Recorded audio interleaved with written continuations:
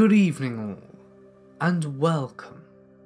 Tonight, we're going to be going on a tour of the deep web and learning about the horrific consequences that you will face if you decide to go in too deep. Be warned, these stories are not for the faint of heart and are graphic and disturbing. You have been warned.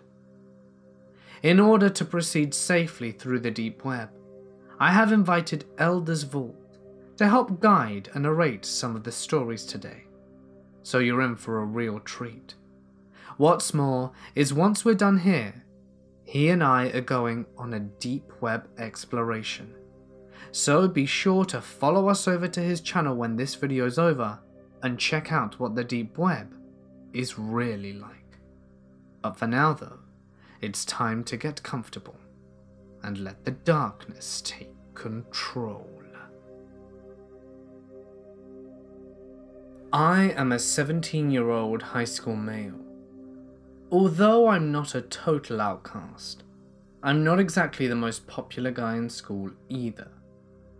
Overall, I would say I do a pretty good job of being friendly and accepting to all the social cliques the nerds, the emos, the athletes, even one of the cheerleaders.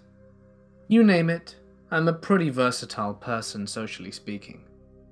That being said, I am somewhat of a loner, with very few close friends, and usually prefer to keep to myself. My reserved personality has caused me to spend a lot of time on the internet. It was about six months ago when I heard one of my few close associates mentioning something called the dark web. Or was it the deep web? Eh, I'm not really too concerned with the official name.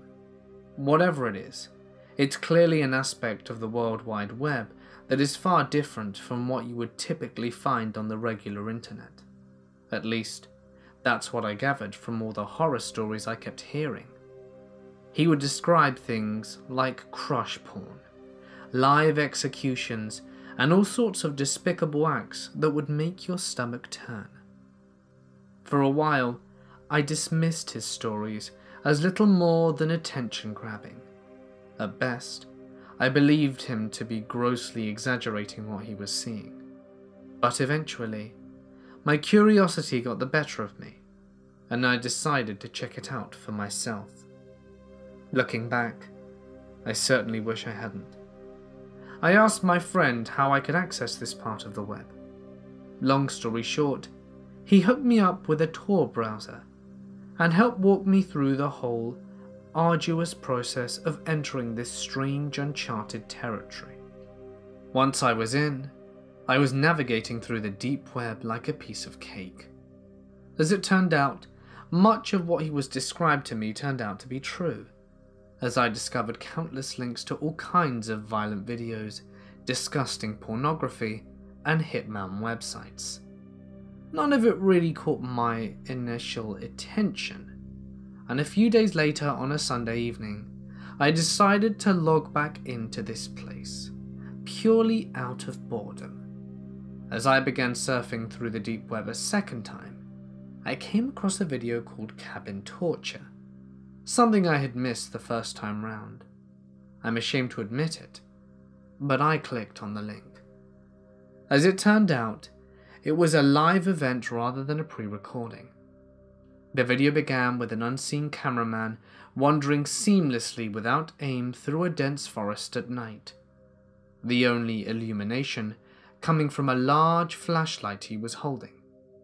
For several minutes, I heard the consistent sound of owls hooting, coyotes howling, and the crunching sounds of sticks on the ground as the cameraman trampled over them.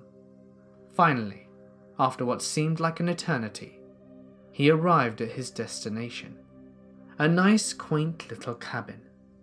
He walked around the back of the cabin and shone the light on through a window. I could make out a large bed with a man and woman sleeping peacefully side by side, before the cameraman walked around and advanced towards the door.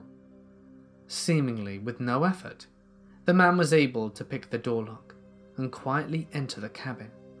The flashlight continued to serve as the only illumination as he made his way through the living room, down a dark hallway, and into the couple's bedroom, which of course the door was wide open.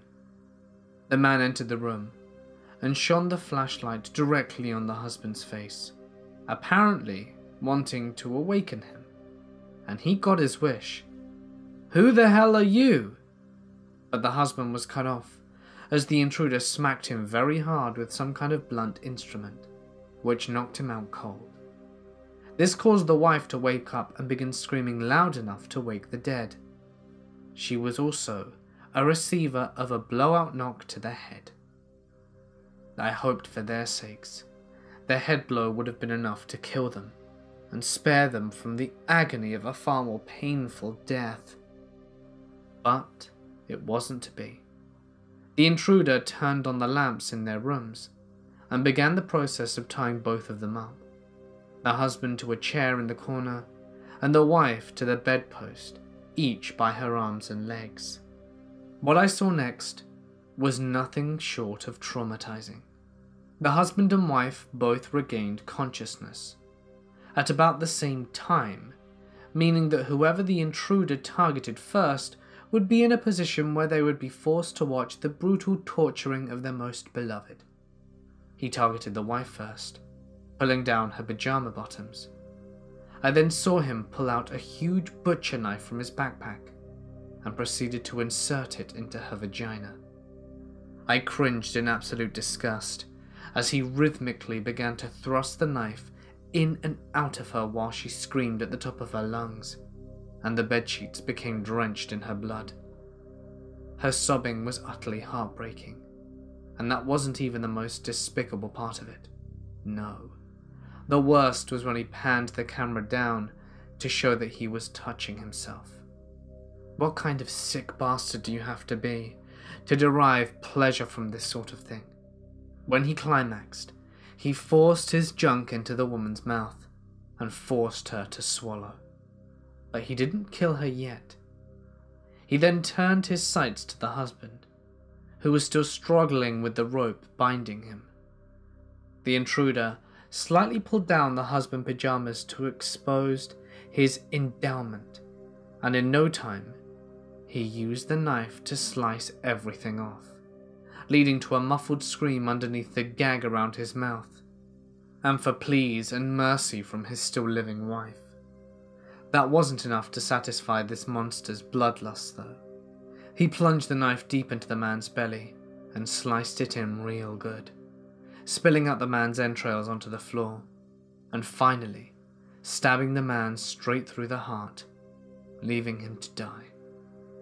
The wife begged the intruder to let her go, but he was having none of it. He pulled out a .22 caliber pistol from his pocket, pointed it straight at her head, and blew her brains out.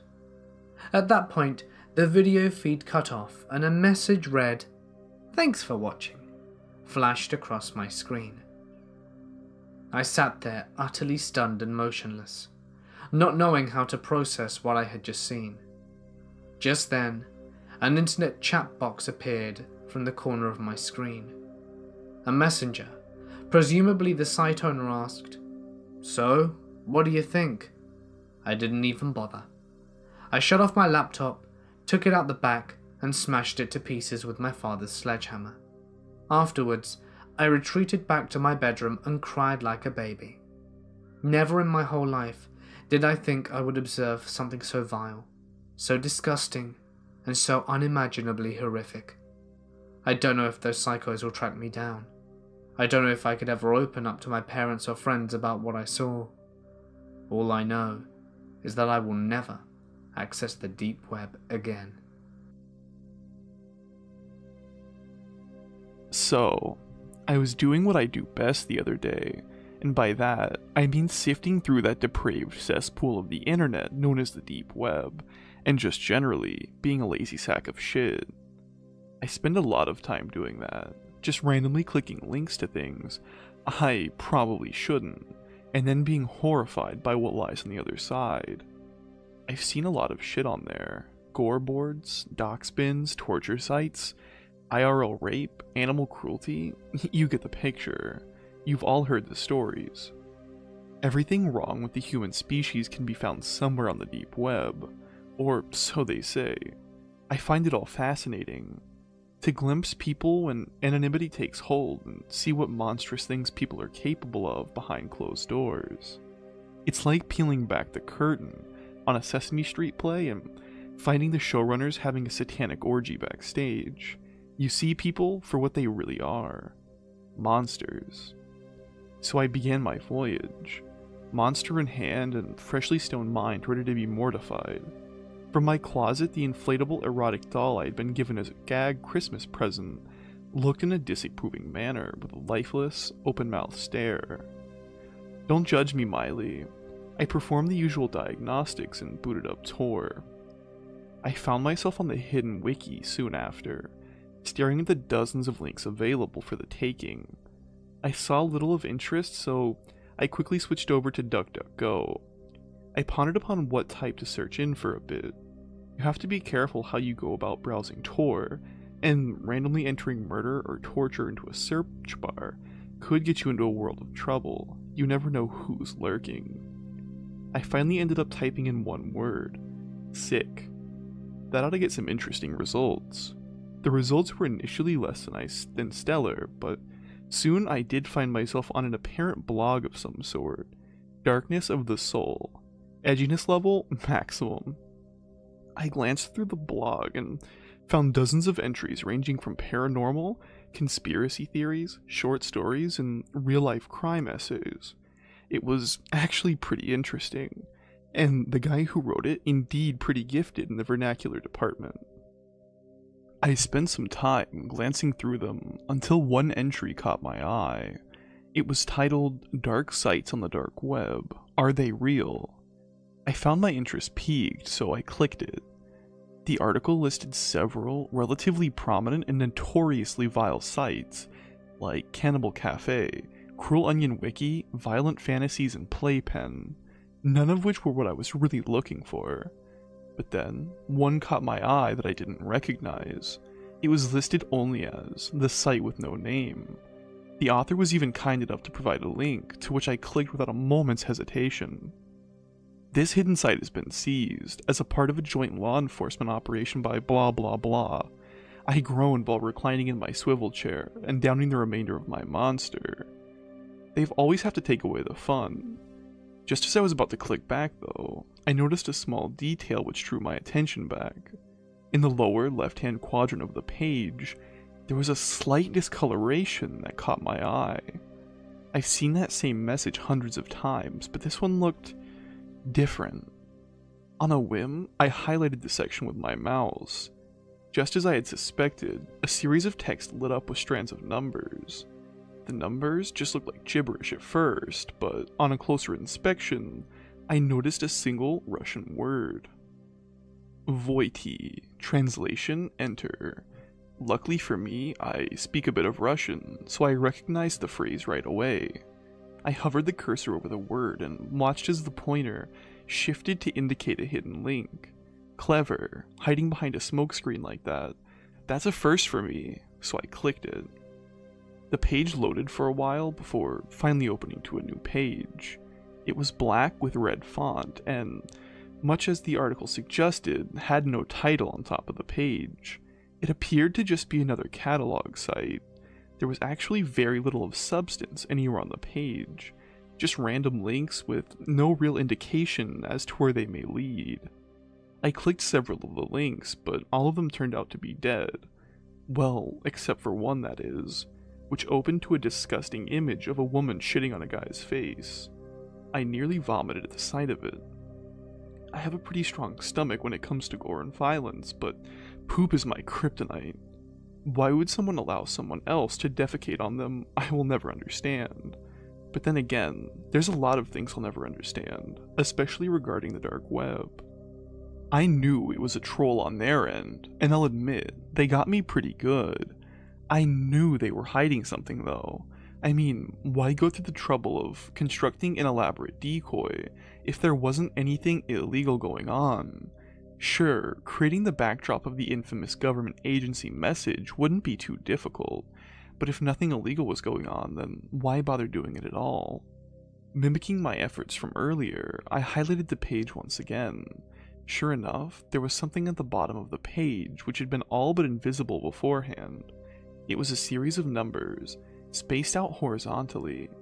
I thought at first it was another address, but there was no dot onion at the end. The numbers were organized as follows 4, 9, 11, 6, 2, 7, 12, 1, 3, 8, 10, 5. I thought maybe it was some sort of password at first glance, but to what? All of the links were dead except that one with the nasty image, and I was not about to click on that again. I pondered over the image for a moment before noticing another detail. I counted the links and noticed that there were 12 in total. That had to be related to the numbers. I thought maybe clicking each link in order correlating to the strand of numbers would unlock something. So I tried that. After clicking the last one, though, nothing had changed. I sat back and again studied the chain of numbers. There had to be a pattern or method to how they were organized. I pulled my phone out and punched the numbers into Google, but found nothing but tips for calculating fractions. In no mood for math, I put my phone away again and stared at the screen. What if the numbers weren't related to the links? What if this was simply a clue to another site of some kind? I scoured all over the page, clicking every square inch to try and find something. I don't know why I'd become so infatuated with discovering the answer, but boredom can be a deadly motivator. Suddenly, I was struck with an epiphany while staring at the top link. It had 12 digits in it, in fact, most, if not all, dot .onion addresses have 12 digits in them. What if the numbers were clues to an entirely new address? I counted the links, and lo and behold, there was a grand total of 12, each with 12 digits. Maybe each number was in relation to the link in the sequence. Maybe they were dead links because they were never designed to lead anywhere. They were only designed to be clues. On a new hunch, I wrote down the fourth digit on the top link, the ninth on the second, the eleventh on the third, and so on and so forth, until I had an entirely new web address. I typed what I had written into the search bar and hit enter. My eyes widened as another web page began to load. I gave myself a metaphoric pat on the back for unraveling the mystery, but had no idea what I was about to stumble into. The page finally loaded, and I was given a new name at the top of the page Happy Fun Time. There were dozens of pictures and videos organized all over the page, none of which I would describe as the words happy or fun. It was a gore forum. My heart pulsated in my chest as I looked upon the first image. It was a picture of a guy who had his skull crushed beneath the tire of a truck. Blood and gray matter had been scattered everywhere as several onlookers stood about gawking at the scene. The second was an image of another man who had been decapitated, and had his genitals placed in his mouth. Probably a victim of the cartels, if I had to guess. The third was a video, a very depraved video. It was grainy quality and terribly shaky, but after a few seconds, it showed what appeared to be a lone woman walking down the street at night. The person filming was obscured by a couple dozen yards away in some alley. Suddenly, two men, other men emerged further down the street and bum rushed the woman. They were on her in an instant. Before she even had time to scream, they grabbed her, and the cameraman sprang up to join the action. All the while, he chuckled quietly in the most unsettling tone I have ever heard anyone utter. It was a giddy and juvenile giggle, the likes of which could only be produced by a severely deranged individual. The woman attempted to scream, but the two men held her mouth firmly, preventing her from doing so. They dragged her back into an alley as the giggling cameraman followed. I turned it off then, knowing exactly where it was headed. A reasonable person would have just exited the site by that point, but morbid curiosity is a powerful narcotic. The next entry on the list, though, ensured that any doubts I had of the authenticity of the site would no longer stand. It was a series of pictures, this time involving a little girl who couldn't have been more than five years old. She had sandy blonde hair and royal blue eyes. The pictures were innocuous at first, or at least they would have been if not for the site they were posted on. It started as just pictures that looked to be taken straight from someone's Facebook profile. A deep pit formed in my stomach as I sifted through them.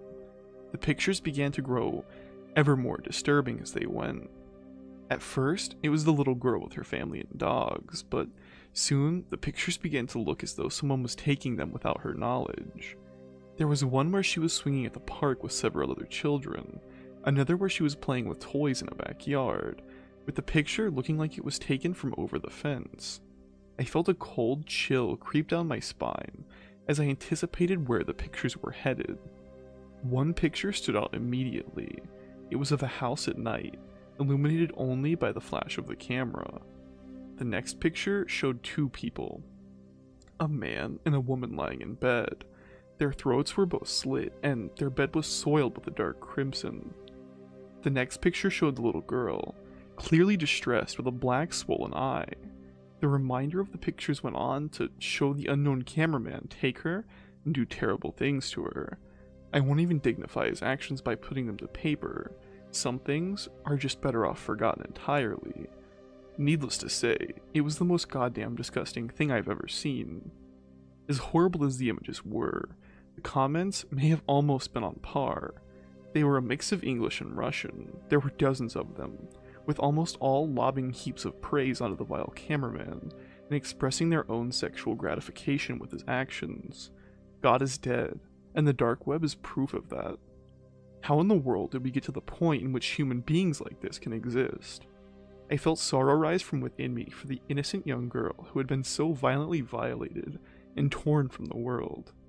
Normally, I feel nothing for random people on the internet, but the tragedy that befell her reminded me of things done to me in my own past. Maybe that's why I'm so fucked up. More than sorrow, though, I felt anger. That was when I made my first mistake. Congratulations, fellas. You're without a doubt the most disgusting sacks of shit in the entire world. Cops have been notified, so have fun jerking each other off in the time you have left. Might as well do the world a favor though and just kill yourselves. I couldn't stop my hands from typing out the message, and before I knew it, my comment was inscribed just below all the others. It sat upon the screen for a moment before others began to appear, all of them insulting me and making fun of my empathy for the girl. Me and the other users fired back and forth for a while before a familiar user posted. It was the same profile which had first posted the images to begin with. His first post confused me, as it was only a set of numbers with intermittent periods. I glanced at the comment before a horrible realization took hold. It was an IP address. My IP address. Before I could react, he followed up with my full name, address, and social security number. I froze, unable to figure out how he would tracked me. It was then that I discovered my second mistake. Like an idiot, I had neglected to activate Tails. They had traced me, son of a bitch. Thanks for stopping by, friend. I'll see you soon. Then you will get a whole new episode on the site starring you. His words sent chills down my spine. I stared at the screen, dumbfounded, and without a clue how to proceed. Not content with two mistakes, and apparently with a secret lust for self endangerment and masochism, I made a third one. Fuck off, I posted in the comment and quickly shut down the Tor browser and closed down my laptop. I thought about the events that had just transpired and somehow just ended up laughing them off. After all, there was no way that bastard's going to go through the trouble of tracking me down. People say shit online all the time, but they never act on it. It's all just empty threats. Either way, though, I had some preparation to take care of. I called the police on the non emergency hotline and informed them of the events. I gave them the web address I had gotten, and they told me they would investigate it. After that, I called my insurance company to alert them about someone finding my social, and proceeded to drink myself stupid, hoping liquor would drown the memories. Days went by and nothing had changed. That is, until the end of the week. I had just returned from work when I saw an unfamiliar black Astro van sitting down the block from my house. I paid it little mind at the time, and to be honest, only realized the implications after the event. I had since forgotten my careless spree into the deep from days earlier and thought nothing of the van. I got inside again and booted up my computer for some mindless browsing. As I did, I heard a noise outside. It sounded like someone climbing the fence outside. I live alone and have no pets, so I knew whatever it was wasn't from my house. I thought about investigating it, but quickly the shattering of glass made it clear that it was not a good idea. I heard footsteps emanate from down below, giving the distinct sound of boots on hardwood floor. They grew nearer and nearer, and I found myself frozen with terror. It was like my body just refused to accept the situation, and would not respond, no matter what I did. That would have been a most astute time for me to have gotten my gun. Problem was, I didn't have one. The footsteps got louder and louder, all the way up the stairs with booming stomps of feet. I heard them trudge towards my bedroom door and lingered just outside. My heart was in my throat, and sweat had begun to drip from every square inch of my body. The door slowly creaked open, and in stepped a man with dark clothing and a simplistic, porcelain mask. He walked inside brandishing a suppressed pistol in his right hand. He grew closer and closer, and then walked right past me. I don't know why they never bothered to check the closet. It's always the first place I look.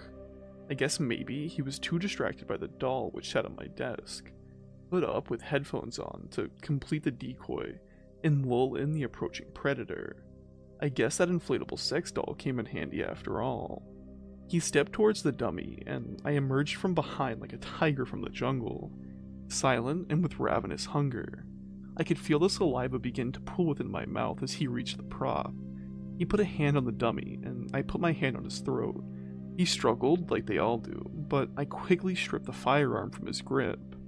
A simple incision underneath the arm with a blade does wonders in demanding obedience. All it takes is a slit into the ulnar nerve, and the arm becomes essentially useless. The unbearable pain it causes is also a bonus. He dropped the gun, and I slammed him to the ground face first. With one motion, I put my foot on his left elbow and grabbed his wrist with my hand while my other hand held the blade to his throat.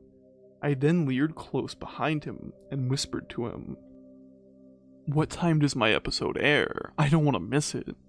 Before he could respond, I yanked his arm backwards while pushing my boot firmly on his elbow.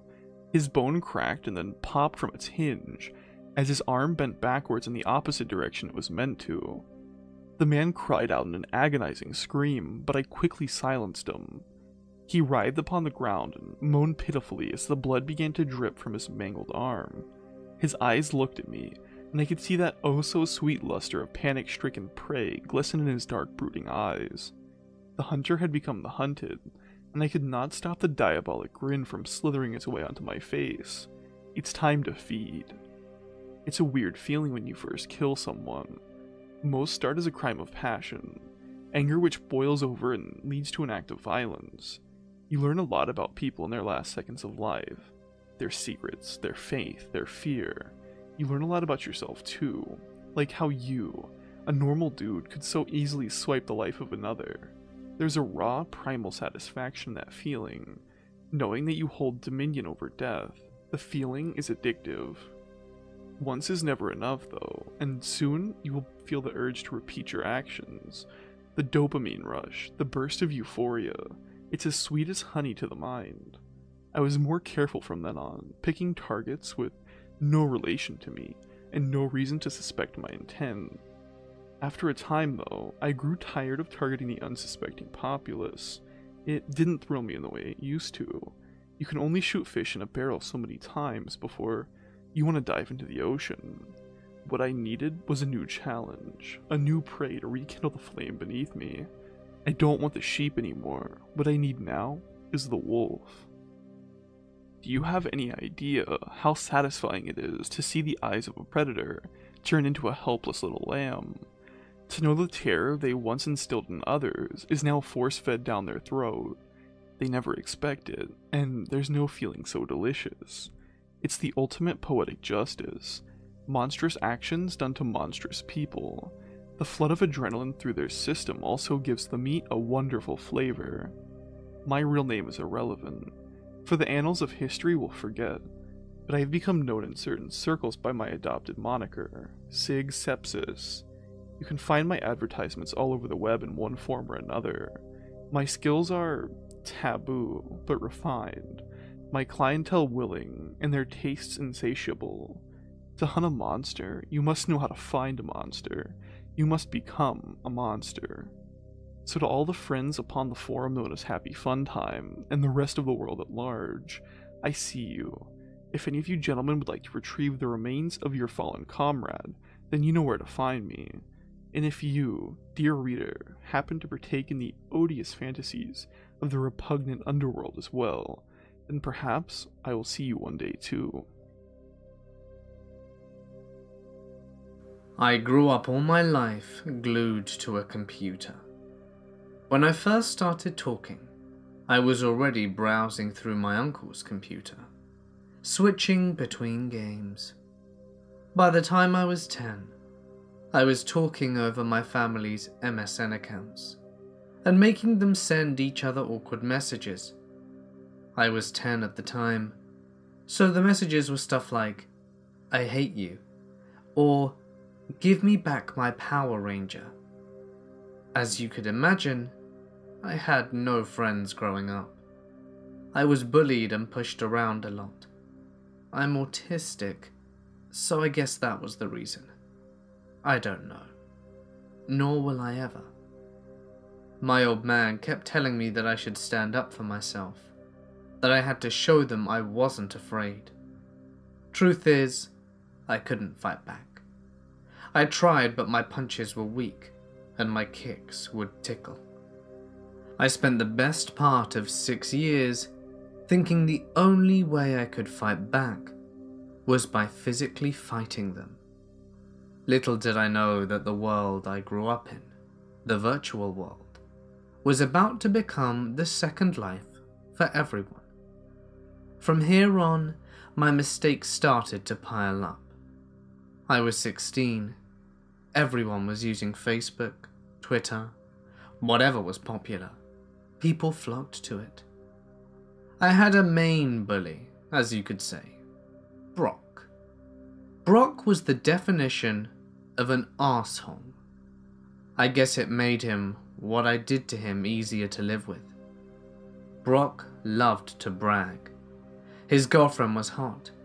His figure was fit, and he was amazing at sports. His only downside was he was dumb as shit and he hated anyone that excelled academically. Surprise, surprise, I was a smartass. I was incredibly good at problem solving. I guess that was the upside to my autism. He hated that, and proceeded to make my life a living hell. I tried fighting back again, using my weak body, forgetting my strongest weapon was my mind. One day, I was browsing Facebook and found Brock as a suggested friend. He was in my world, and suddenly something clicked. I created a burn account, jazzed it up and made it look legit. I added Brock as a friend, and proceeded to find out as much as I could about him. I found his girlfriend and added her too. I sent Brock an email from Facebook claiming his account had been compromised and to download a PDF file with our security measures updated. Of course, he fell for my fake message. He wanted to keep his account, so he downloaded the document. Fool. I had access to his laptop and proceeded to find everything there was to know about him. I knew so much at that point in time.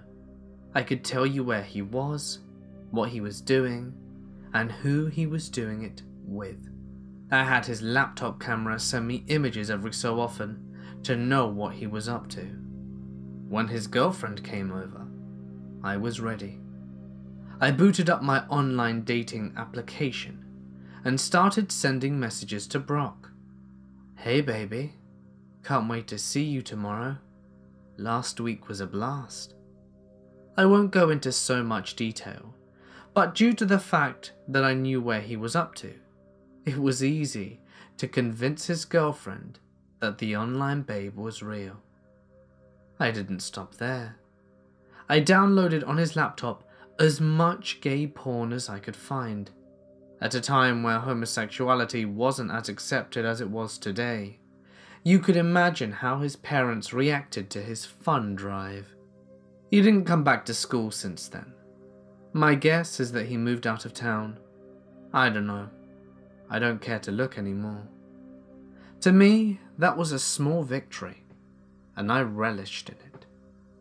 Now I wish I'd have stopped there. Oh God, I wish I'd have stopped there. But I was addicted. The feeling of justice being served by my hands was one I wanted and wanted more. So I targeted criminals, the type that used the dark web to hide and spread their filth. For four years straight, I was a pain in their asses. I was on the deep web outing pedophiles, rapists, heavy drug dealers, you name it. If they were online, I would make their lives a living hell. I thought I was being smart. I thought I was hiding myself pretty effectively. But shit. Something was following me every step of the way, and it would soon tell me. I woke up one morning as any normal day, made eggs and toast for breakfast, with a glass of orange juice, booted up my desktop, and browsed Reddit. The usual was on. Guys complaining that something was overpowered, something was underpowered. The game designers weren't listening. The usual morning chuckle. Then I heard a ping. The Facebook Messenger notification sound. Funny. I didn't open Facebook yet. Maybe I did and I forgot. Would it make sense as I rarely open Facebook? It was odd, but not enough to sound any major alarms. A message from someone I don't know. Hey Danny, what's the weather like in Japan? What the hell? Weather in Japan? I'm on the other side of the world. The name read James Puckerson. On my other monitor, I started to go through his profile, trying to find any mutual friends. Someone I met at a party or something. I responded with, Sunny, I hope. Anyone who knows me knows I hate the rain. I kept looking, but nothing of interest popped up. James replied, Oh, a funny guy. Tell me, Danny, do you enjoy playing games? At this point, I thought he was referring to video games. Yeah, dude. What did you have in mind? League of Legends? RuneScape? I don't mind. Oh, Danny. I didn't mean one of those childish games. I mean a real game. You know, the type that involves putting one's life on the line? I let out a chuckle. Someone probably hacked my Facebook account, added this weird ass account, and is now trolling me. This isn't a joke, Danny. I take these games extremely seriously. Okay, what? How did he know I laughed? Did he guess? There's no way he can see me. My camera isn't even plugged in. And how could he have gotten into my apartment? My Facebook profile had a fake address on it, and I never used my real address for anything, not even Amazon or eBay. This had to be a joke. I wrote, Sure, dude, I'm bored as hell anyway. I was buying time to try and find out where this son of a bitch was. I scoured everywhere, trying to find any small clue to latch onto. I found something, and kept going and looking into it more, eventually leading me up to an address. When I looked at the address, I froze. I could feel my blood draining from my face. It was my address. I was the only one living there. But somehow this household was using my address as a cover.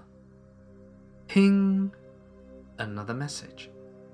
I see you've gone extremely pale, Danny. What's the matter? Don't you believe in ghosts? I couldn't move. This guy could see me. He knew every move I was making, and I didn't know what to do. Do I run away and burn everything down? Fry my hard drives and shred my motherboard? What the hell's going on? Ring ring, Danny. My phone started to ring, but it wasn't James. The caller ID read, Mum. I pick up. I hesitate to speak. I can't show my mum. I'm afraid that she'd worry. So I tried to act cool. Hey, Mum. Everything alright? What I heard next made me drop my phone in horror. It made me realize this shit was real, and this wasn't a joke. A voice obviously modulated to hide the identity of the caller, but the threat was real, and I knew who it was. Hey, Danny. What's the weather like in Japan? I stood frozen in horror. Panic swept over my body, and thoughts flooded my mind. What happened to my mother? Is she okay? What is this son of a bitch doing with her phone? I knew I had to calm down. Something didn't seem right. I picked up the phone and looked at the caller ID. It said Mum, no number. Shit. How could I be so stupid? He was just masking his caller ID. He must be trying to throw me off balance. I'll play along. There must be something I'm missing. Well, what are you doing with my mum's phone? Where is she? Is she okay? A laugh came from the other end. A deep, distinguished laugh. I decided to record the call Maybe I can play around with the recording to find this caller's real voice. It may not be much, but this asshole knows where I live, and probably who my parents are. Then he starts talking. Danny, Danny, Danny. The safety of your mother depends on the outcome of our little game. I told you one's life is on the line, but I should have elaborated and said it shouldn't necessarily be the player's life. So are you ready to play? At this point I had a thought. How can James see me? I have no cameras connected to the Wi-Fi. My desktop camera is disconnected, and I ripped out my laptop camera when I got the damn thing. Another option would be he broke into my apartment and installed cameras when I was out. But why would he risk getting caught like that? I may have cameras at home and catch him doing it. No. He must be using one of my devices. Doesn't seem like I have a choice, James. Let's play. I braced myself for what he would say. We've all watched those horror movies. These games weren't exactly Mario Kart sort of level. Suddenly, I knew. I wanted to throw myself from my apartment for how stupid I'd been. In my hand, I held the single device that had a camera and was connected to my Wi Fi. My bloody phone. I didn't want to jump to the conclusion that it was the only camera that was being used, so I decided to test it. Before I could do anything, he begins to speak. Well, well, well, Danny. I must say you've got balls. Most guys would have started to cry or beg me to stop. This will most certainly be fun. I had had enough of this shit. I started to test my theory. I started googling shit like how to track a phone call and how to find cameras in a house. I wanted to see if he could see my screen, and sure enough, the confirmation came through.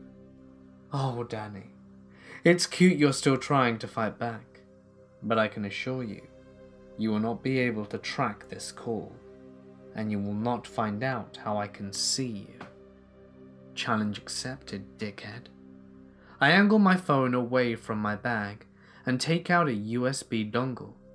If this asshole is on my Wi Fi, I'm gonna make him think he's controlling all of my devices.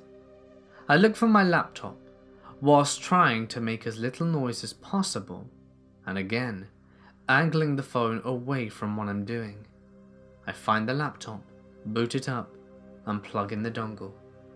Yeah, well, I'm one tough son of a bitch. So when we playing, James? And do go over the rules properly, yeah? I like to whoop your ass playing with your rules, dipshit. My strategy was to show no fear. In truth, I was terrified. But I knew the instant he smelled fear, he would have total control over me. And I'd mess up and forget basic stuff like I had when this shit show first started. My laptop finished booting up. Excellent. I knew this guy was using my network somehow, so I decided to hack my own network and see how he got in. Maybe he left something behind. The rules are simple, Danny. You wanted to play judge, jury, and executioner. We are going to go through your history of White Knight Justice and see just how much of a hero you really are. Hero, huh? There was a time when I thought I was a hero. Maybe it was when I made a child molester end his own life. I told myself I was a hero because he wouldn't hurt another child. In truth, was I a murderer? Was this my past coming to haunt me? No time to think about it. It wasn't just my life on the line here. Everyone I care about is in danger, and there's no time to be selfish. Ha, hero. That's cute, James, but I've always known I was the devil. A necessary evil. But sure, let's walk down memory lane. Maybe that will remind you who the hell you're dealing with. My attempts were bringing up nothing. I managed to break into my own network many times, but I couldn't find a trace of another device. Not a trace of information transfer. Wait, information transfer? Outgoing and incoming traffic? Shit, I'm stupid. He can see a stream of my screen which means I have outgoing traffic somewhere, right? I start monitoring my outgoing traffic. Encrypted, of course. But there was still an address, a server, that this information was going through. I find the address of the server and decide to do something extremely stupid and might sentence myself to prison, or worse, no access to a computer. But I decided to pay a small price for the safety of my family. Well, well, Danny. Watch your screen as the images pop up. Let's roll the tape, ladies and gentlemen. What a psycho. I don't pay that much attention to the tone of his voice as I set up my botnet for a distributed denial of service attack. My hope is that if I bring down the server for a bit, I'll be able to see where the requests are coming from and track it from there. It's a long shot, but it might work. As I'm doing this, I also stop recording the call and send the recording over to my laptop. All the while I'm angling the phone away from the laptop. And since he hasn't spoken off, my theory that the only camera being my phone turns out to be correct. I finally feel like I'm making the right moves in this twisted game of chess. I'm hoping that I'll be the one to say checkmate at the end though. Victim number one, Brock, 16 years old. You destroyed his relationship and got him kicked out of his home. He spent three years on the streets before overdosing on heroin. That wasn't a nice thing to do, Danny. A picture of 16 year old Brock pops up. He died? Shit. He was an asshole, but didn't deserve to die. I went too far. I went too far. But I couldn't admit it. Not to this psycho. I had to show him that I had no heart. Well, life sucks. Survival of the fittest and all. Maybe he should have been careful with who he messed with. Another disgusting laugh. James was enjoying himself. Maybe I should be. No time for that right now. I put the phone on loudspeaker and placed it on my desk, wary that the front camera may be used as I kept well out of sight as I put my earphones into my left ear. Time to tweak around with this recording and unmodulate this voice. Danny. This isn't gonna end up well if you show no remorse. Now the fun begins. Remember his girlfriend? It's confession time, Danny. As if it were alive, my PC opened up Skype and auto signed in. Shit, I was so stupid. Was I really that lazy? A number is entered into it, and it starts dialing. What do you want me to do, James? Tell her the online babe was me, and that Brock wasn't a cheating dickhead? What's that gonna change? My botnet was ready, and I started to attack the server's address instantly. I then watched my incoming and outgoing traffic closely. All I needed was a hiccup, something that would lead me to James. In that moment, it was like the entire world grinded to a halt. In that moment, it wouldn't matter to me if the moon was crashing down onto the earth to end all life as we knew it. All that mattered was this stream of information.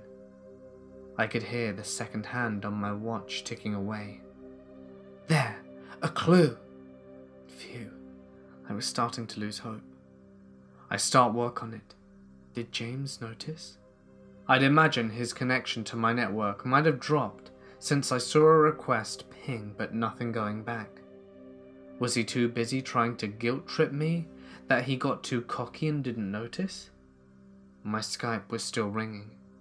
Was she going to pick up? Hello? The girl's voice. She sounded kinda cute, actually. Is James hooking us up? Wrong time for jokes there. James speaks to me. Go on, Danny. Answer her. Tell her your name and what you did to Brock. I decide to play along. True, he didn't call me from my mum's number, but that doesn't mean he still can't hurt her. Liz? It's Daniel Kurt. We went to school together with Brock. There was a pause. I can't imagine how awkward this must be for her. I didn't have time to care though.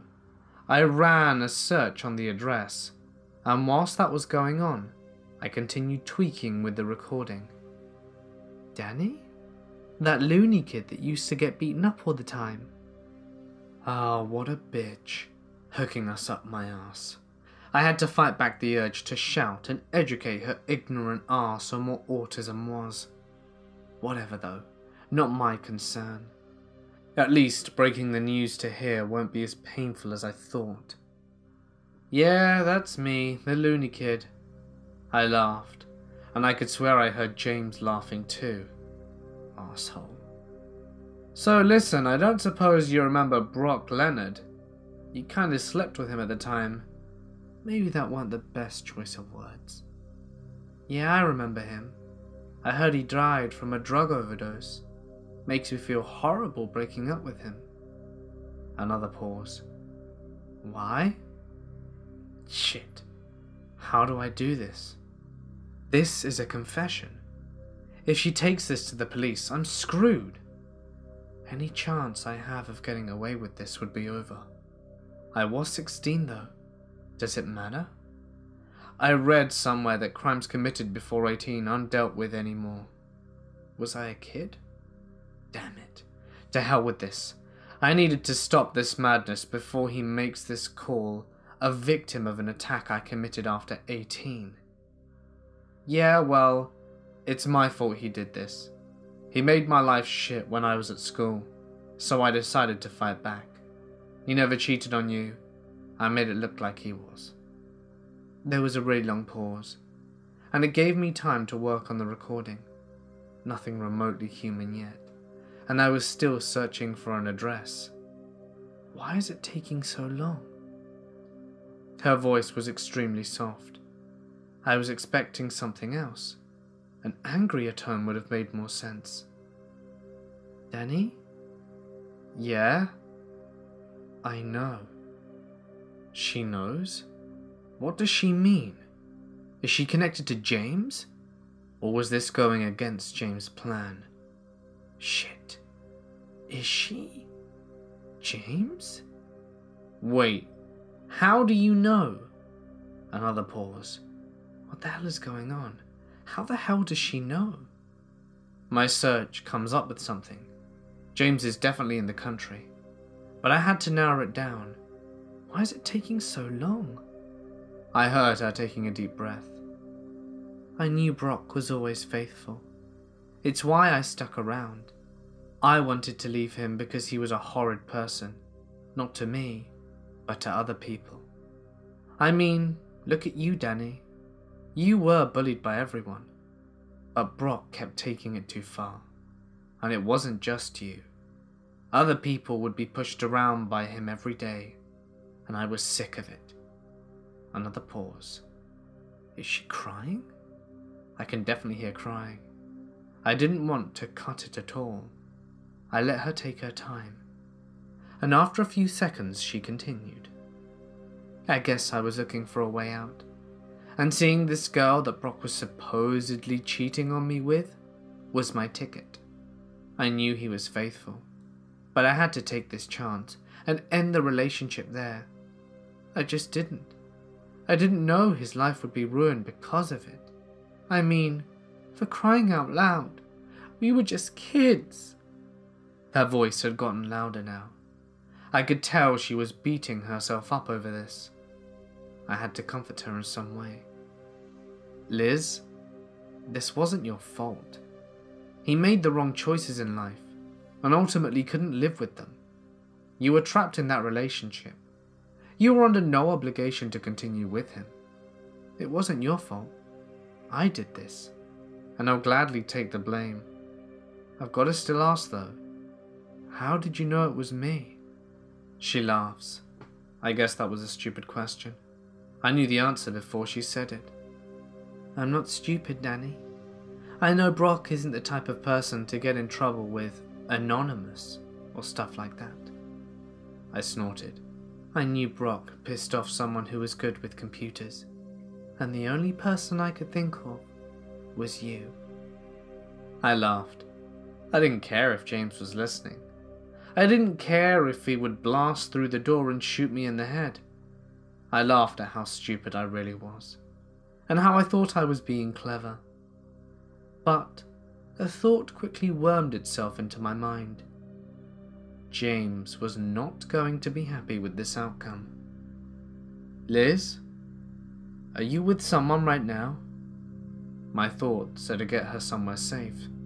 Somewhere James can't get to her without causing too much attention. No, I'm out. And then the line cuts. Liz? Liz? I pick up my phone. What the hell have you done, you twisted dickhead? There was silence. Not a single noise. I looked at my phone, puzzled. We were still connected. Where the hell did he go? This ain't time for a toilet break. Then I heard a sound. He's still there, and he starts to speak. His voice changed, not modulated into something else, but his tone. He wasn't happy. Homo sapiens. An intriguing species. They never do things the way you accept them to.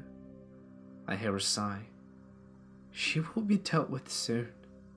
For now, though, let's continue our trip down memory lane. Oh my god, he's going to kill her. Shit. I need to hurry up and find something. Anything. I can't let anyone else die because of me. I can't. Another picture shows up. The child molester that I scared the shit out of and ended up taking his own life. What sort of justice was James looking for here? If any at all. I started to panic. Why is he making me do all this? Surely, if he knows I did these attacks, he has evidence. Why not just turn it all over to the police? All the more reason to find this arsehole. Jordan Fisher, age 36. You masqueraded as a child he molested and caused him to take his own life. Now you might think this an act of heroism. But if so, why haven't you told anyone about your heroic act, Danny? He was mocking me. He continued talk of heroism and disgusted me. I needed to find Liz. I needed to alert the police and let them know she was in danger. And what do you suppose you're doing now, James? Are you a hero to these people? Are you acting out their revenge? Wake up, shithead. These people are criminals. All I did was rid the world of them. I looked over to my search window. It was narrowing down, finally getting somewhere. Back to tweaking the voice recording. I felt like I was getting closer to finding out what the James voice was really like. But it wasn't male. It was definitely female. Well, anything that will tell me anything about James will help. One thing is certain people feel safe as long as they're under the illusion that they're secure. Once you break the illusion, once you burst the bubble, they start to panic. And one thing you can be certain of is that people who panic mess everything up. Human nature, I guess. James responds, Justice? I'm not doing this for justice, Danny. I'm playing a game with you. It doesn't seem like you understand what the game is yet. I feel sorry for you. Let's continue. Fisher had a daughter. Did you know that? She was 15 when her dad took her own life. Tell me, Danny, don't you think she should know why her dad died? I mean, it's only fair, right? Time to confess. Oh, I almost forgot. Her name is Sarah. You'll need that for when you talk to her. As before, another number was dialed from my Skype and began to ring. She was 15? I was still 16 at the time. Shit! How can a child molester have kids? I deprived someone of her dad, but he was a monster. What have I done? Hello? Who's there? Help me. A girl, her voice arching with distress. I could hear an echo. Where was she? And why does her voice sound like she's in trouble? James starts to speak again. Danny, you better answer her. Who knows what might happen to her? Another one of his laughs echoes through the phone speaker. He disturbed me. I guess I had no choice. Sarah? Are you okay? What's going on? I thought it'd be best to check if she was alright first, before confessing to my crime chivalry and that bullshit. I. I don't know. I think I'm okay. I. Can't feel my legs. Her breathing rate started to increase. Who. Who are you? Where am I? Help me, please. What the hell's going on? Did James kidnap her? I needed her to calm down. The hell kind of twisted game was this? Just calm down, Sarah. Take deep breaths, and can you look around and tell me what you see? I turned to my phone. James was silent. I wasn't having it. It was time for some answers. Okay, James, what the hell is going on? What have you done to Liz and Sarah? James was quick to respond to this. Ten minutes, Danny. You have ten minutes. Find them. I was just as quick to react. Screw trying to find James right now. There are innocent lives on the line here. I needed to find them. I needed to trace Sarah's phone, and I had an idea how. Sarah responds before I could do anything. Uh, oh, it's so dark in here. I see a camera on a stand in front of me. I'm in a chair, but I can't get up. I can't feel my legs. It's so dark here. Oh my god, what's going on? Damn it. He's probably using a burner phone. No good to me right now. Tracing it will take ages. Hang on. Sarah's 19. She has to have a smartphone. Sarah, listen to me very carefully. I need you to fill your pockets. Do you have a smartphone? And if so, what is it? And is it on you? I hear a few groans. Whatever James did to her was painful. My guess is that her legs were broken. Yeah, I have my iPhone. It's not dead. Should I call the police? She asks hesitantly. But I could tell from her tone she was happy she still had her phone on her. If she calls the police, she dies instantly, James says. If you don't want her to die, you'll have to find her yourself. Damn. I didn't intend to rely on the police anyway, but they would have helped. I needed to find a way to explain to her just how dire the situation was, without making her panic enough to call the police. I didn't think James would be happy with me, telling her in the conditions of our little game. My brain worked quick. Sarah, no need to call the police. I'm Detective Haynes. I've been looking out for you, as you've been missing for a while. Now I need you to tell me what your iCloud username and password is. I'll track you using Find My iPhone. I tried to keep my voice down and calm in order not to induce panic. She gives me her details and I log onto the iCloud and start the search. Within a matter of seconds, it shows the location on the phone. It's not far from here. Five minute walk? Got her location, James. Now let her go, I say. Another laugh. How the hell can someone enjoy this? Oh, Danny. I didn't ask you to give her location. I asked you to find her. Run, Danny. But take your phone with you. We still have a lot to chat about. It dawned on me. So why was she so close? And why did it give me such a long time frame for such an easy task? I had to physically find her. I dropped everything and ran. Before I left the apartment, I grabbed a small kitchen knife and wrapped it in a towel.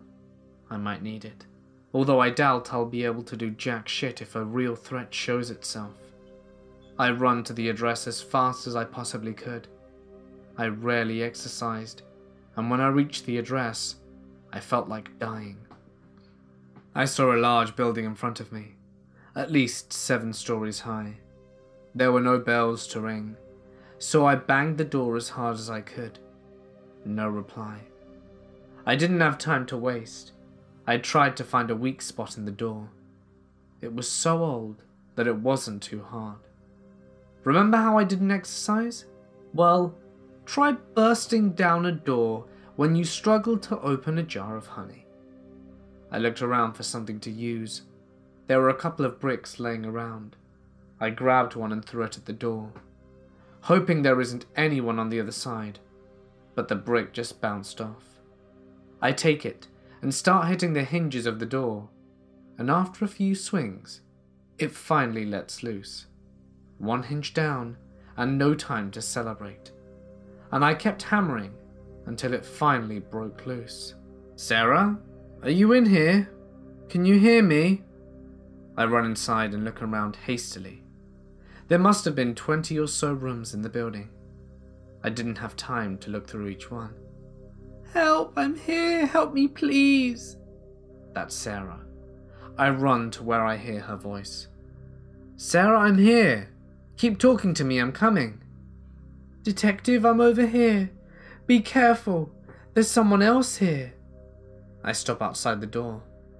Is James here? Would he risk exposing his identity like this? I'm running out of time. I take out the small knife and kick open the door. I step into the room, knife raised, steadying my breath. I look around the room. It's dark, and I wait for my eyes to adjust. I start to make out a chair with someone seating in it, a stand with what I assume was the camera from Sarah's description, and a figure standing opposite to me a female figure. I couldn't quite see her face yet. My eyes were taking forever to adjust. I turned to face this figure while glancing at Sarah. Sarah, are you okay? I ask. I need to make sure she's fine before whatever is about to go down does. Yeah, I'm starting to feel my legs again, but I still can't move. There's another girl here, red hair, but she's passed out. She sounds relieved. I guess she thinks I'm a fit detective with dashing hair and stunning eyes. Oh, I do not envy her for the disappointment she's in. The red haired girl was probably Liz. So this is the grand battle, then. At least it's almost over. Just as I'm about to address the figure who I could only assume was James, I hear a voice coming from behind her. A familiar voice. Hey, Danny. I freeze. That voice. It can't be. No. It's impossible. But the more I thought about it, the more it made sense, but also terrified me. Who was the person I kept no secrets with? Who was the one person who knew everything I'd done? Who was the one person who had access to my address, PC, apartment phone, and everything I owned? Who was the one person I shared my heart with? My one true love. Angela? I whispered softly. The thought that my girlfriend, my heart and soul, had done this to me crushed me. I felt tears rolling down my face. Of course, it all made sense. This supreme hacker never did any hacking at all. She had installed cameras in my apartment because she was always there. She knew I didn't have any of my own. She had her address spoofed as my own because she knew that's what it was. She added James to my Facebook account because she had the login details for my Facebook account. I shared everything with her, and the thought of her doing this never crossed my mind. Why? Why are you doing this? What are you doing? I don't understand. What did I ever do to you? I'm speaking through tears and can barely string together the sentence. My eyes adjust to see her. Angela, is she crying as well? Or am I hallucinating? No, those are definitely tears. Is she really James? Or did James threaten to do this too? Ta da! She sings through tears. Are you proud of me yet, Danny? Did you enjoy our little game? To this point, I'm angry, confused, and tired. Why? The tears didn't stop. Instead, they increased in intensity. Why are you doing this? Why are you hurting innocent people? Why are you hurting me? I've only ever loved you and cared for you. Why? She laughs. Her face is fake, and I can tell that she still laughs. Why? She says in a mocking tone. Don't you know why, Danny? Don't you know why your lovely girlfriend is doing this, Danny? Did you not find it odd that I didn't introduce you to my parents? Ever? I did find it odd. She was always reluctant on telling me who her parents were, but I didn't mind. I loved her for her, not her parents. What has this got to do with anything? As I'm still searching for answers, it hits me. Her dad must have been a victim of one of my attacks, and I confessed it all to her. But still, if he was a victim to an attack from me, he must have been a criminal. Why is she doing this? Oh, it seems like you understand, she says, still in her mocking tone. My dad was David Jessington. You know, the drug dealer you put behind bars? I loved you, Danny. I still do. But when my dad was arrested, he made me swear to make whoever did this pay. I tried and looked for whoever did it, but after a year I gave up. Then I met you and fell in love. I thought we could live our lives together forever. Then you had to tell me that you wanted there to be no secrets between us. You had to tell me everything you've ever done, including getting my dad arrested. She then takes a breath and wipes away her tear, then continues. I spent weeks fighting with myself internally. I tried to forget that I was in love with the man responsible for me not being able to see my father. I tried, but I couldn't. Eventually, I went and visited my dad. I asked him if I still had to make the one who did this pay, even if it was someone I loved deeply. I pleaded with him to forgive me, but he looked at me and told me that if I had the power to avenge him and didn't, he'd disown me as a daughter and never forgive me. Her tears had returned, and she started to splutter as she spoke. Danny, I love you. I always will. But I swore to my dad, and if he ever finds out I let you go, he'll kill me. At least if I make it look like I made you pay, he'll let you go. And I don't care if I'm arrested. I don't care if you hate me forever. I love you, Danny. And that's why I'm doing this. My heart ached.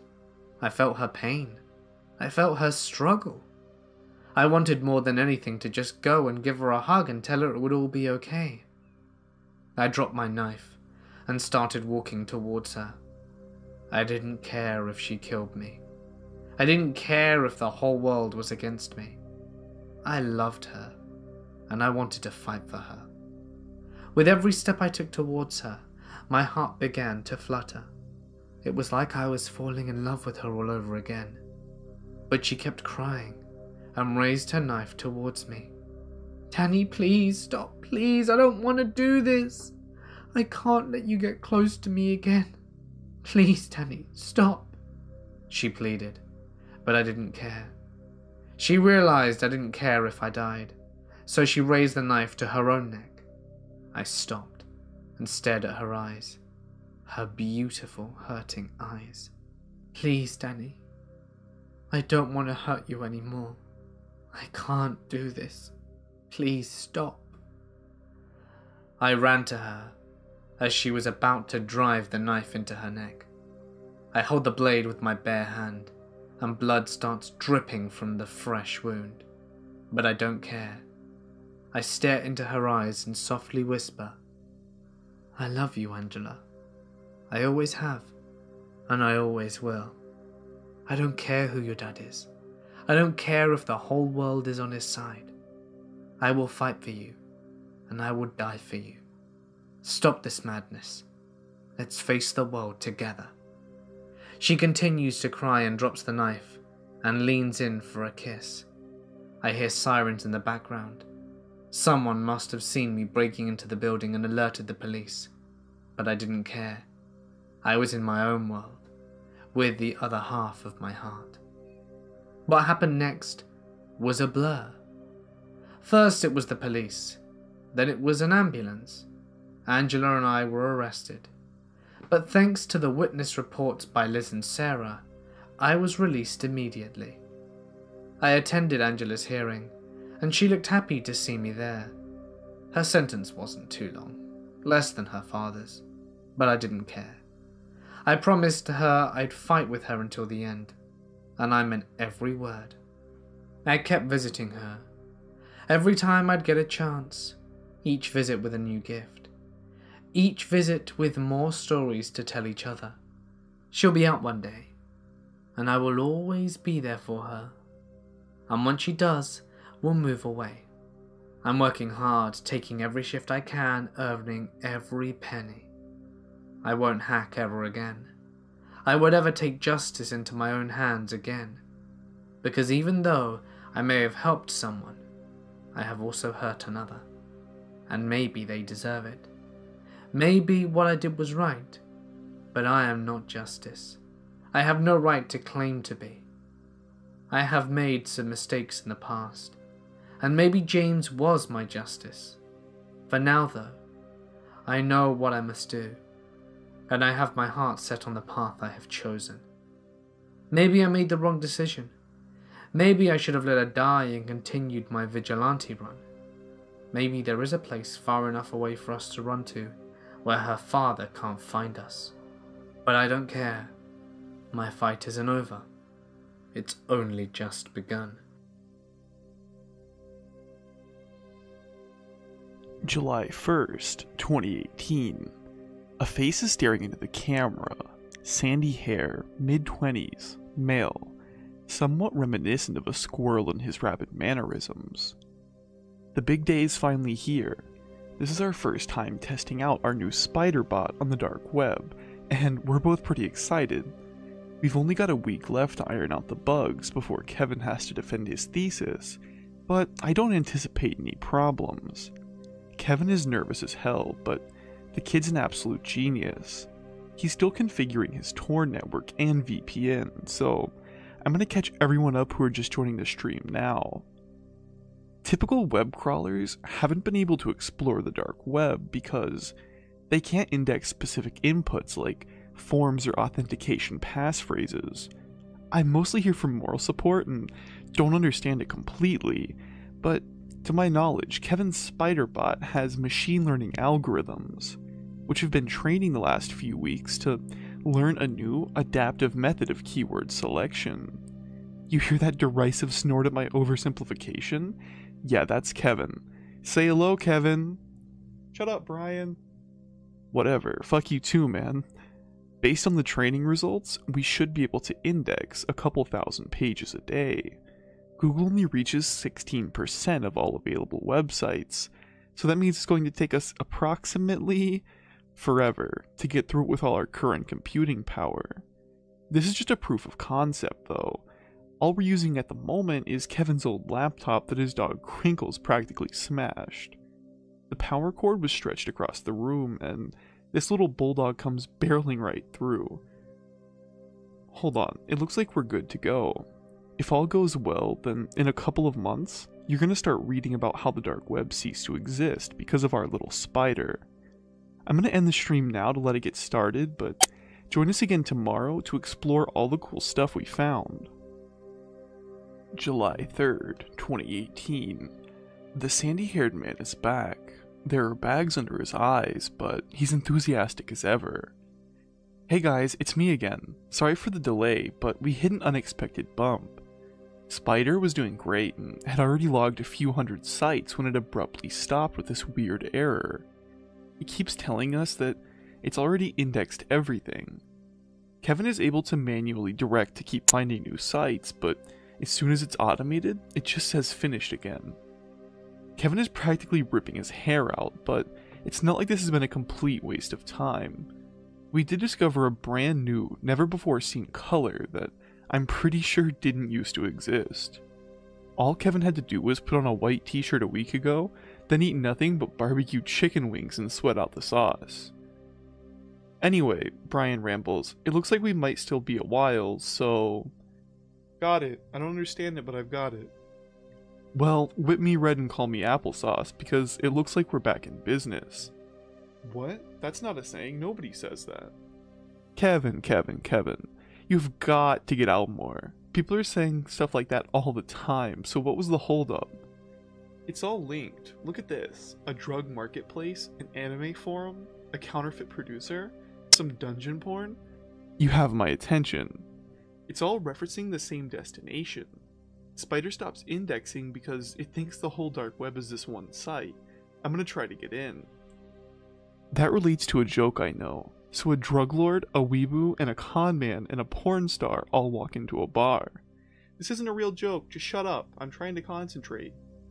And the barman says, What are you guys doing together? So the drug lord says, They've all got something to hide. Even the porn star? It's gotta be a blackmail thing. These guys must be tunneling into other websites to get a hold of our info for their ransom. But there's no way they can be everywhere. Every single spider finds shit, shit, motherfucking bitch sticks. Oh, like that's a real saying. They're on my computer. I have no idea how they trace Spider back, but the mouse is moving on its own. It's typing an address into Tor.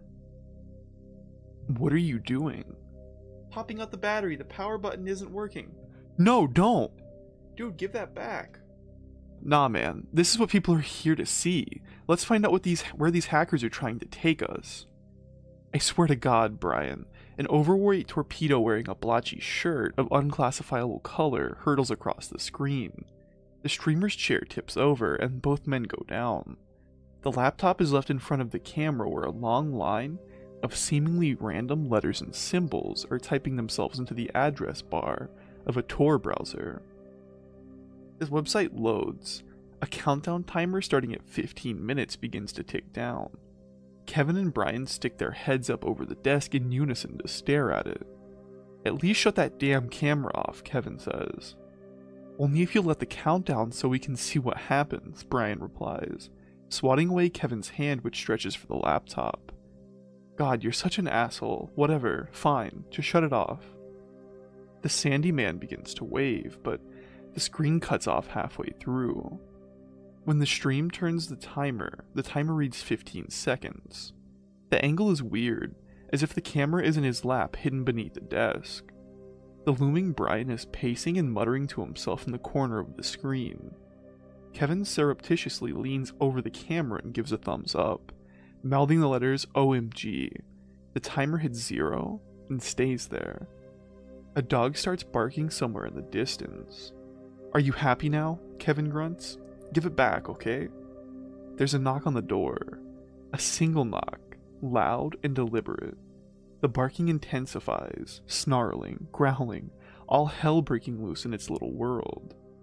Not really, Kevin whispers. A second knock, then a third, each about three seconds apart. You get it. Both men say at nearly the same instant. They stare at each other until the next knock. This is your fault, Kevin wheezes in a voice halfway between a whisper and a shout. Yeah, yeah, he replies. He approaches the door, the camera angle still at waist height, then in a louder voice, Who is it? Are you still recording? Kevin hisses. Unbelievable. The screen's filled by the door as Kevin gets closer. He's right up against it, so he's probably looking through the peek hole. Crash. A sound loud enough to max out the speaker volume. The door explodes inward in a wave of splinters. The screen shakes erratically, and there's nothing but splinters and lances of light and screaming. A grayskin hand streaks across the camera. If you freeze the frame, you'll notice that the skin looks more like coarse cloth, and that there's stitching running up and down the fingers. The stream cuts off. July 10th, the streamer is back. His face seems paler. His skin's breaking out, and his hair hangs in greasy strings around his face. He's sitting in a bare table in a concrete room. The lights are dim, but there's a large man standing in the back of his room. His hands are folded motionlessly in front of him. Um, yeah, hi guys. This might be my last broadcast for a while. He glances back at the figure in the corner, but there's no movement. Back to the camera. Kevin's okay. I mean, he's different, but he's okay. He glances back to the corner of the room, but the figure still hasn't budged. Brian's shadow shifts with his movement, and for a moment, the stitched cloth of the person in the corner is visible running all the way up his arm. I guess they had something like Spider. They were only tunneling into websites on the dark web anyway. I guess those kind of people could disappear without as many questions being asked. They wanted my followers to know, though. Brian swallows. He looks behind again. Then a sudden burst of movement. Grabbing the camera and dragging it up to his face. Close your browser now. Shut off your computer. The figure in the back has started to move. Great, lumbering steps, charging forward. Brian's words are a breathy rush. It only takes 15 minutes for them to find you once they've established a connection. The cloth hand seize Brian from behind and drag him off camera. Don't do this, Kevin, he shouts. How long has your browser been open already? Just shut the damn thing off. There's a heavy thud. A heavy-set face appears in front of the camera for a moment. The human eyes look strange embedded within the cloth. Stitches run down either side of the face along the jawline. The cloth might just be sewed to the skin, but it fits so closely to the anatomy of Kevin's face that it looks more like the cloth has replaced it. The stream cuts to black replaced by the last few seconds of a depleting timer. Hey guys, it's Mort here, and thank you so much for listening. I'd like to give a huge thank you to Elders Vault for helping me in this video. It was a pleasure, and I really, really like his work, and think that you should definitely check it out. Now that you've been thoroughly horrified from the deep web, why not come join me and Elder over on his channel where we go look at some real deep web stuff and see the horrors that we uncover. So, you'll be able to find the link on screen or in the description. I'll see you guys there.